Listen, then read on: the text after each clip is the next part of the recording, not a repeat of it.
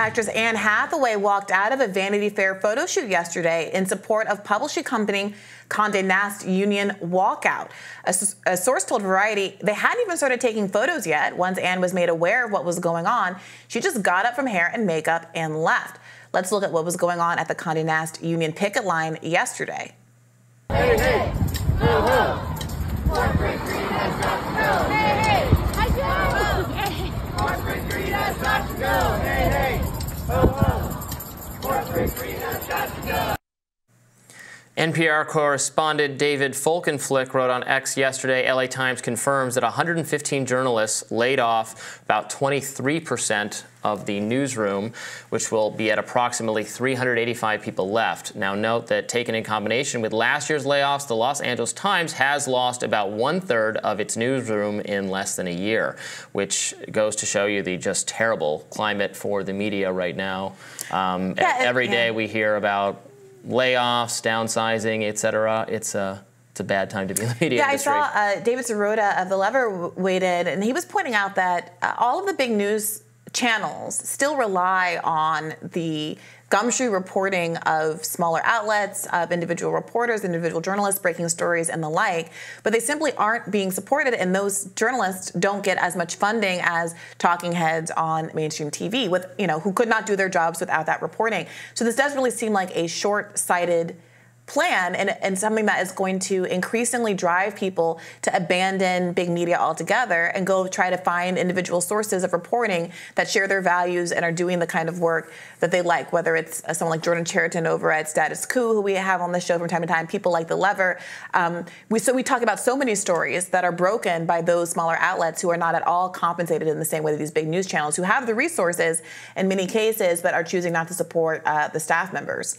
I mean, who have the resources, but have a very fraught business model that's not really worked out for them in the era of the internet, um, and they they have not figured out how to make it sustainable, and they're you know they're losing, so they've had to lose staff, you know, over and over again. I mean, they they haven't made it work. Local news doesn't it's just is not profitable the way it, way it used to be when you had you know newspaper subscriptions, that kind of thing.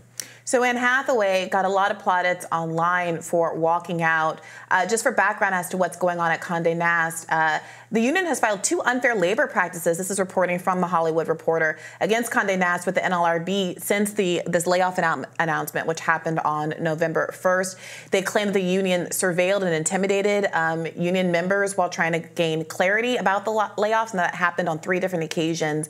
Uh, and moreover, uh, they said that they've uh, engaged in regressive bargaining, so downsizing a severance offer uh, after employees uh, complained about the proposal, which would cut 94 union jobs, which amounts to 20 percent uh, of the union. They provided a, a less a less uh, advantageous severance package uh, in the course of these negotiations. So I don't know that this is looking to get resolved anytime soon. We obviously saw some footage from the uh, one-day walkout. Uh, we'll update you if any more uh, such actions are planned. But certainly the fact that this got so much attention because of Anne Hathaway's behavior, I think does say something significant about the power that people with high uh, profiles celebrities have and actually engaging politically in these ways. She didn't even have to say anything. She simply left her photo shoot, and there have been headlines up the wazoo about her choice to do so. I I missed all these headlines, but maybe it's getting a lot of attention in entertainment news or something. Or I just googled uh, it. If you're Variety, an, Axios, on Anne CNN, Hathaway, uh, Washington Post, The Hollywood yeah. Reporter, uh, all of these outlets uh, have covered oh. the story and framing are framing it as Anne Hathaway uh, walks out.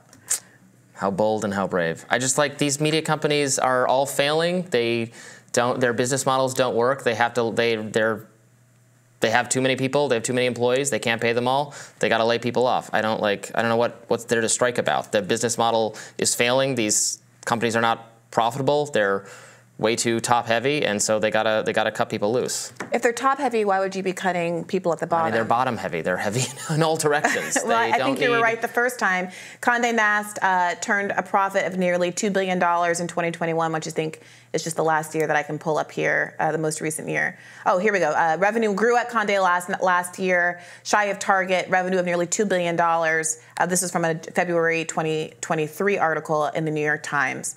Um, so, you know, the question is how much profit is enough and whether or not if you have a, a policy which is typically how businesses run under capitalism of, respe- of expecting infinite um, infinite growth, then at a certain point to achieve that artificial sense of infinite growth, you're going to have to start laying people off, even if the business is itself sustainable. And I think that's the, that's the question at hand here. I mean, yeah. Um, I guess so. Um, what else do we have to say about this segment? Um, Hillary Clinton, you wanted to talk about her?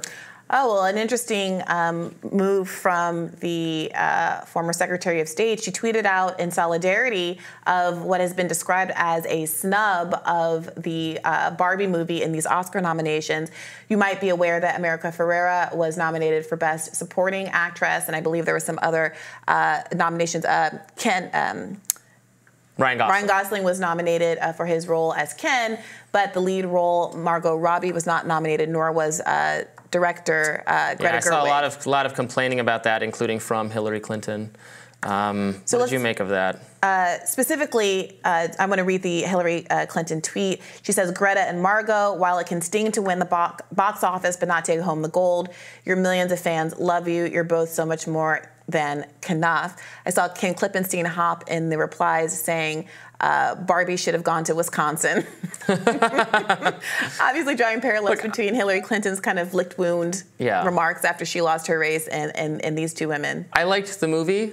I enjoyed it. I don't know that it was like the best movie ever, so I don't. I'm not losing. I'm, I, I don't. I don't mean sound like a hater. It was a good movie but uh, people seemed really upset. I guess it's the optics of like the one person getting nominated. I mean, they got, got nominated for a bunch of things, just not um, best. Right? They got best. She got Greta Gerwig got best adapted screenplay or something like that. I think it was just not um, director and not That's an award right. for Margot Robbie.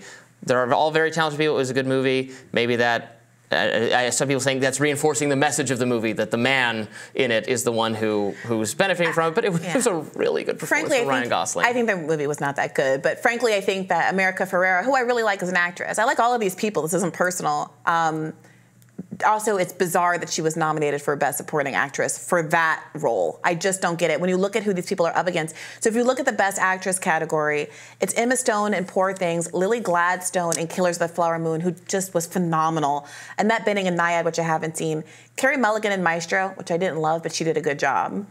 She did a very good job um, and Sandra Hüller in Anatomy of the Fall, which I also didn't see. The idea that Margot Robbie kind of stiffly walking around as Barbie is c- compelling as Lily Gladstone's performance, where you watch a three-hour like Holocaust of her family and community. I- I'm sorry, it's just. It's, it's almost embarrassing, I feel like, for Hillary Clinton and others to be putting Margot Robbie in a position where she has to defend her performance against these other really meaningful Oscar worthy performances. It's Ryan Gosling no said something too. Yes. Ryan Gosling um, said that uh, that um, there's no Ken without Barbie. There's no Barbie movie without Greta Gerwig. To say that I'm disappointed they're not nominated would be an understatement, um, and so on. Yeah, and when you look at best screenplay, similarly, it's a really there's a lot of really great pieces in there.